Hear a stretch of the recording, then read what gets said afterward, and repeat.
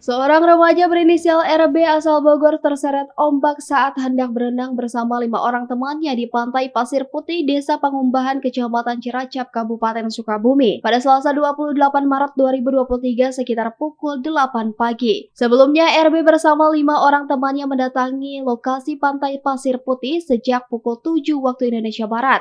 Setibanya mereka di lokasi kejadian, mereka langsung berenang ke pantai. Namun naas saat berenang, tiga wisatawan remaja Bogor tersebut terseret ombak dan dua di antaranya berhasil diselamatkan oleh rekan lainnya. Namun naas satu remaja berinisial RB terseret ombak ke tengah laut.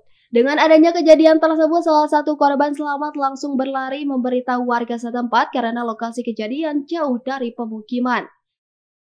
Kan pertama kita berenam datang dari Bogor berwisata ke ujung genteng nih Pasir Putih. Kita datang pagi langsung pada berenang ke bawah berlima eh berenam. Cuma kita yang bertiga ke bawah hanyut pak ke tengah.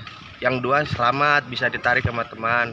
Cuma yang satu ke bawah karena nggak bisa diselamatkan lagi pak. Semua sudah pada ngap-ngapan.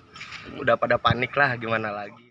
Usai mendapat laporan adanya salah satu wisatawan yang hanyut akibat terseret ombak di tempat wisata Pasir Putih di Desa Pangumbahan, tim Balawista dibantu warga langsung melakukan pencarian dengan menyisir pesisir pantai hingga ke tengah laut dengan menggunakan perahu milik nelayan setempat. Jadi kronologi kejadian yang terjadi di Pasir Putih ini diperkirakan sekitar jam 7 eh, kronologisnya para pengunjung anak-anak yang dari Bogor itu bermain ke pantai wisata Pasir Putih. Ketika mereka lagi pada asik berenang eh, kira-kira ada gelombang besar yang menerjang mereka. Akhirnya yang satu tenggelam yang lima selamat. Eh, yang inisial yang sekarang yang masih dicari inisialnya atas nama RB diberikan masih dalam pencarian uh, pencariannya lewat darat apa gimana?